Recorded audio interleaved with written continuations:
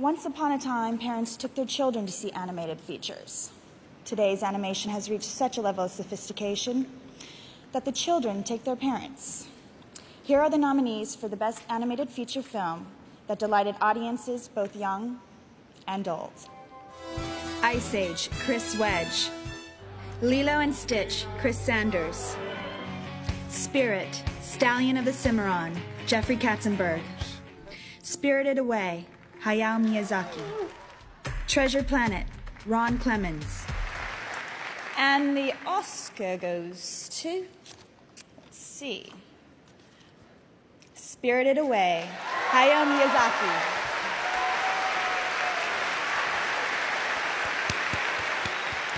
The Academy congratulates Hayao Miyazaki and accepts this on his behalf. Thank you so much.